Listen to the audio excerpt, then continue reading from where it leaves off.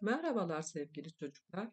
Ben Özel Gündoğdu Okullarında 4. sınıf öğretmeni İkbal Civan. Bugün sosyal bilgiler dersinde 5. ünitemiz olan üretim, dağıtım ve tüketim bölümlerinden 4. bölüm olan belgemizi alalım konusunu inceleyeceğiz. Birlikte belgemizi alalım konusuna bakalım.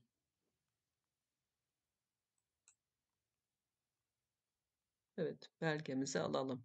Alışverişlerde belge almanın önemi üzerinde duralım.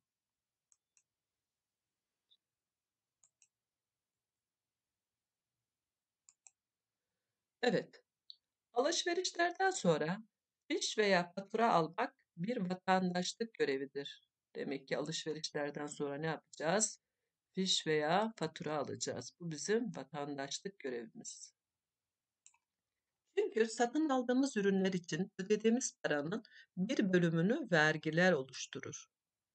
Bu vergilerin devletimizin hazinesine ulaşabilmesi için biz vatandaşların fiş veya fatura istemesiyle mümkündür.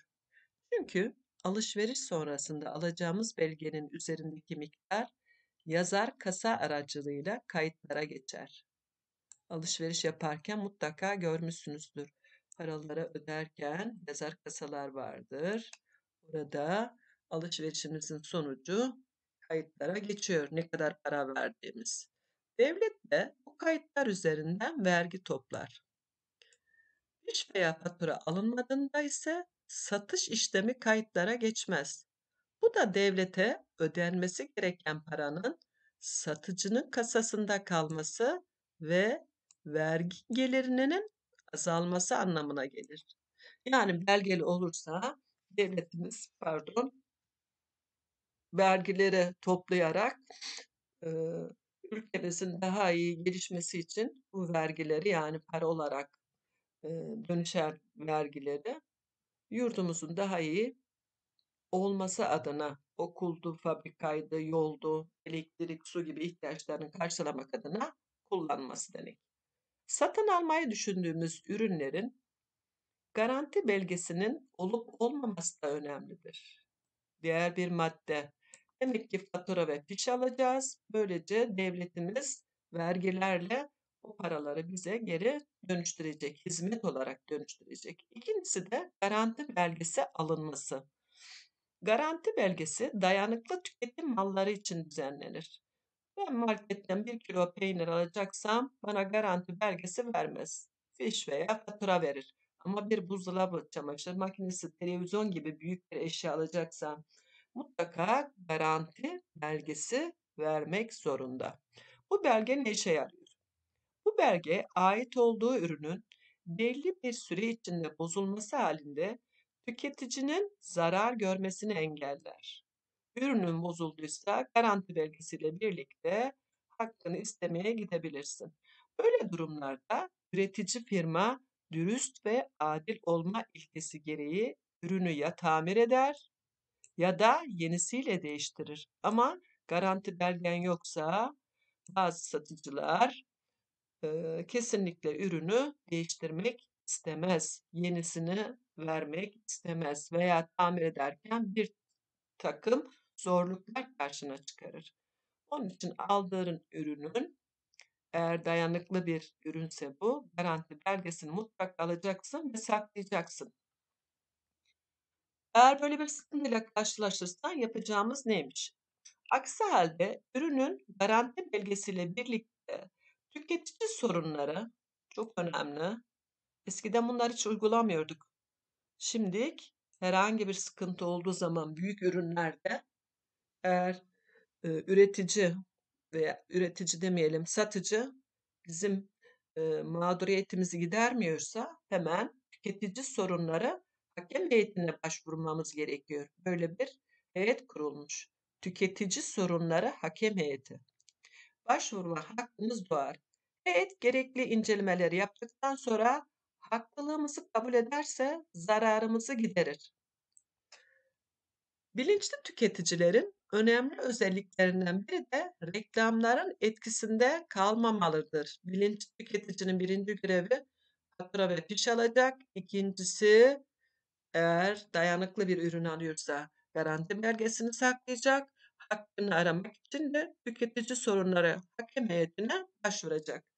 Diğer bir maddede reklamların etkisinde kalmayacağız. Reklamlar bizi kandırmayacak.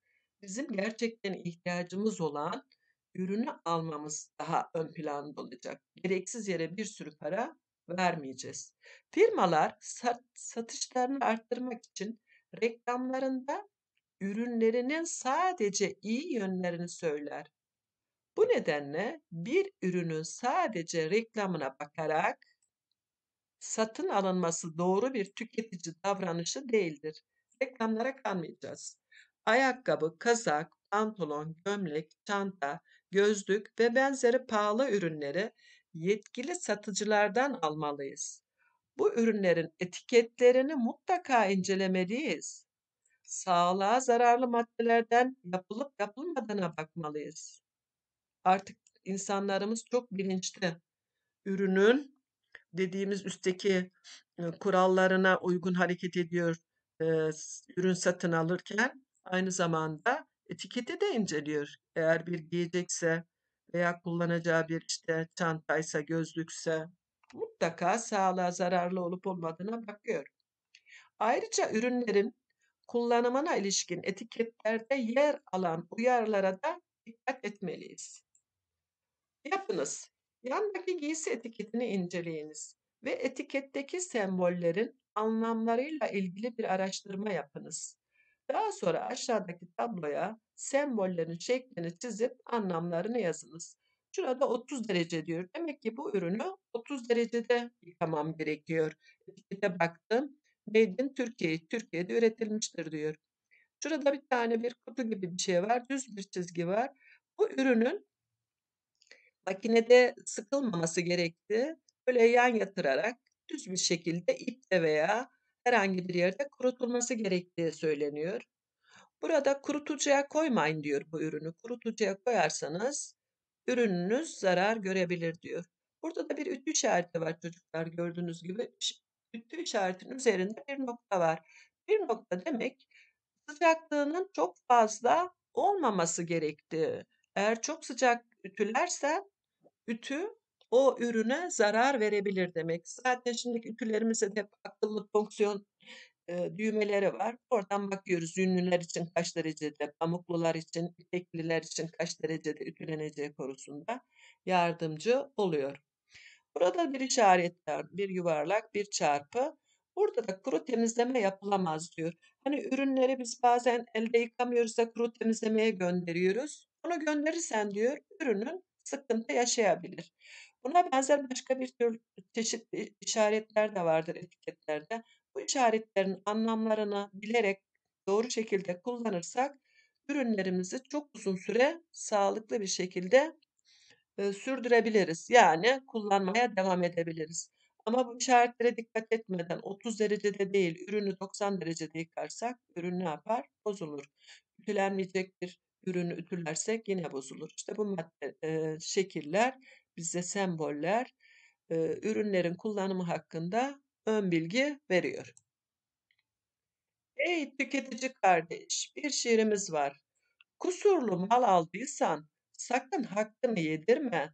Sessiz sakin kalıp da bir köşeye çekilme. Eskiden böyle ürün bozulduğu zaman aa kötüymüş deyip çöpe atardık, kullanmazdık. Ama şimdi öyle yapmıyoruz. Senin de hakların var. Çünkü haklarımızı öğrendik. Parana yazık etme. Ben o ürün çöpe atıyorsam param çöpe gitmiş oluyor. Koş malını değiştir. Göğsünü gere gere. Senin hakkın var malını değiştirebilirsin. Satan kabul etmezse git hakem heyetine. Evet tüketici hakem heyeti vardı. Yine de olmuyorsa diğer yerleri dene. Direkt mahkemeye gidebilirsin. Ey tüketici kardeş, sakın hakkını yedirme. Kusurlu mal alıp da bir köşeye çekilme. Artık kesinlikle bir köşeye çekilmiyoruz. Şiire göre bilinçli bir tüketicinin yapması ve yapmaması gerekenler nelerdir? Ben hem okudum hem de size açıkladım. Korkmayacağız, çekinmeyeceğiz. Eğer ürün hatalıysa gidip değiştirmeye çalışacağız. Değiştirmiyorsa tüketici hakem heyetine gideceğiz. Onlar bizim sorunumuzu giderecek. Bir kenara çekilip ürünümüzü çöpe atmayacağız. İnsanlar bilinçli tüketici alışkanlıkları kazandırmak ve onları tüketici tüketici hakları konusunda bilinçlendirmek amacıyla defterinize bir şiir yazınız. Siz de yukarıdakine benzer bir şiir yazabilirsiniz. Tüketici kardeşimize seslenebiliriz. Evet, dersimiz burada sona eriyor. Öbür dersimizde ayağımızı yorganımıza göre uzatalım konusuna devam edeceğiz. Sizlere iyi günler diliyorum.